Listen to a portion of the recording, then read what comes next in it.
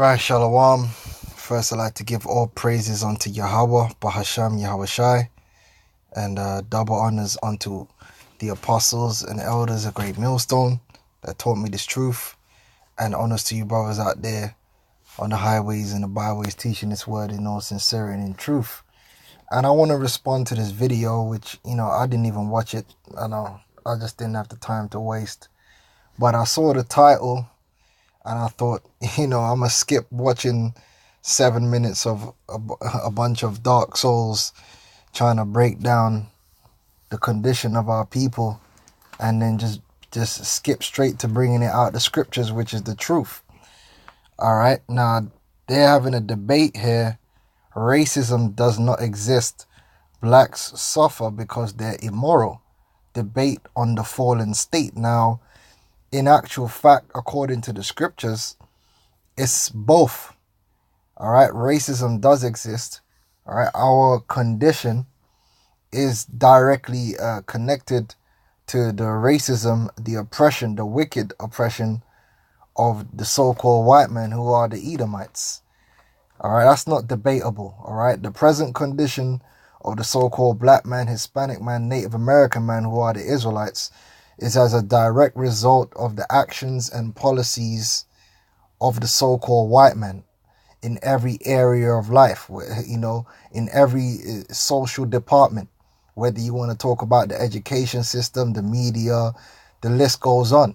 The, their entire system is geared towards what's known as so-called white supremacy even in this age of what's known as political correctness that the uh, Edomite supremacy is completely ingrained into this society, and it's supposed to be that because we we were not put in captivity under our enemies to to be at ease and to to to um to be tr- entreated well.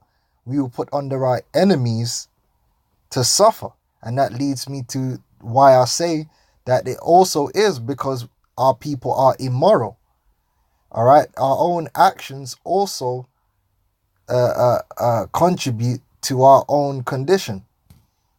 All right, so it's both. In fact, it began with our own actions. So let's get that in the scriptures because the reason why the so-called white man is was able to put our people into captivity and possess our substance in the first place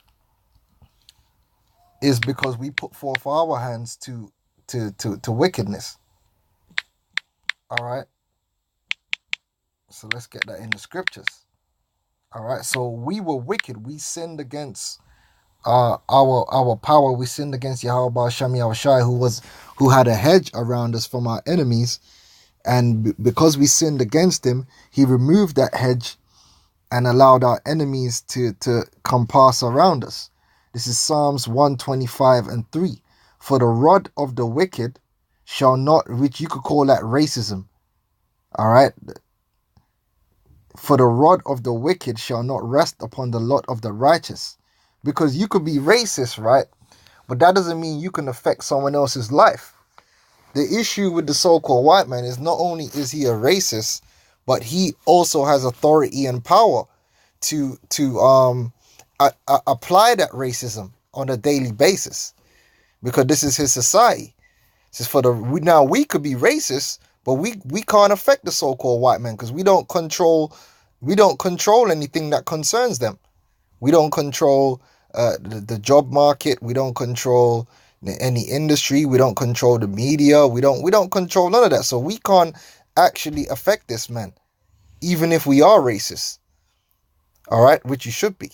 For the rod of the wicked in righteousness, for the rod of the wicked shall not rest upon the lot of the righteous, lest the righteous put forth their hands unto iniquity. So if we never put forth our hands unto unrighteousness and immorality, as they said, then yes, we wouldn't be in the condition that we are today. And furthermore to that, our Im- Im- immorality and our wickedness, even to this day, actually worsens our conditions in this captivity because we do evil unto ourselves. We do evil unto ourselves, man. So it's both. All right, let's get Isaiah. So it's it's not all racism. All right, but it's not all down to, to, to, to us, in so to speak, if you understand what I'm saying. All right, it's it's a dynamic between the two. Now let's get Isaiah 42 and um verse 18. Now this is concerning Israel, you Israelites. Hear ye deaf and look ye blind that ye may see. Who is blind but my servant, or deaf as my messenger that I sent? Who is blind as he that is perfect, and blind as the Lord's servants? Seeing many things, but thou observest not, opening the ears, but he heareth not. The Lord is well pleased for his righteousness' sake. He will magnify the law and make it honorable. But this is a people robbed and spoiled. And and and, and that's a fact. Our people were a people which is robbed and spoiled. They are all of them snared in holes, and they are hid in prison houses. They are for a prey, and none delivereth. Meaning, we we are we are under the hand of the so-called white man. All right, he is the higher power on earth over us. We are under his authority. He makes the laws, he sets the rules, the regulations. That's why you so called Negroes, Hispanics, and Native American Indians, you go out there marching on the streets, begging the so called white man for what? Rights, privileges.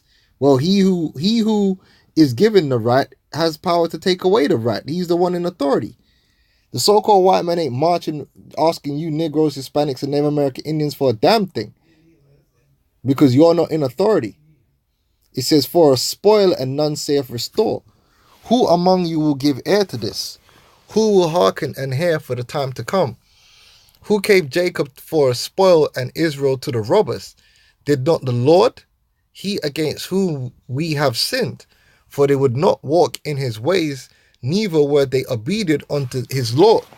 Therefore he hath poured upon him the fury of his anger and strength of battle, and have set him on fire round about, yet he knew not, and it burned him, yet he laid it not to heart. So it was the Lord that delivered us up unto our enemies as a punishment for our transgressions.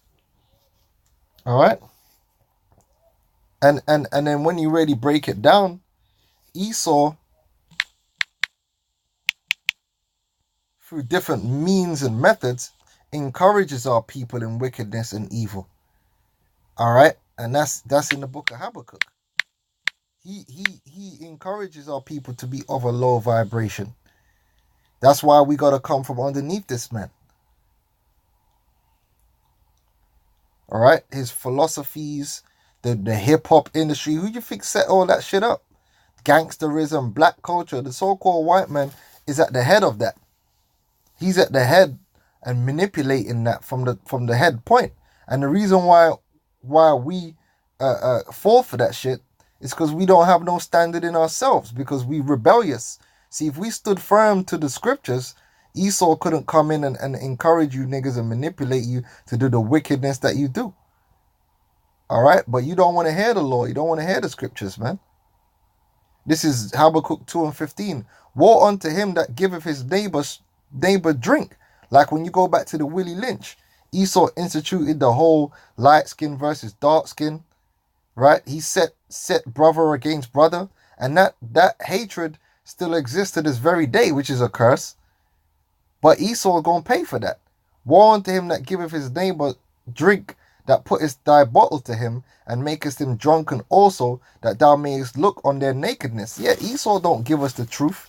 Esau gives us lies, man. And those lies uh, uh, are a detriment unto us. Okay, thou art filled with shame for glory. Drink thou also, and let thy foreskin be uncovered. The cup of the Lord's right hand shall be turned unto thee, and shameful spewing shall be on thy glory. Meaning the Lord's going to bring the so-called white man down. See, he created the the filthy, uh, uh um, low down, dirty uh, thing known as a nigger, a wetback. All right, which is really a low down, dirty creature with no standard, degenerating by the very second. Esau created that. He molded that. He he he broke our people down into such a state. But guess what, man? Esau is also going to be broken down into a lower state. All right, but through the spirit of the Lord, the Lord is going to rejuvenate and elect of his people, man. And we're no longer gonna gonna um follow the way of wickedness and evil and immorality, which is self-destructive. Because when you really check it out, black culture, uh, Hispanic, so-called Hispanic culture, you Israelites, the culture you follow is a culture of self-destruction. It's a culture of self-hate.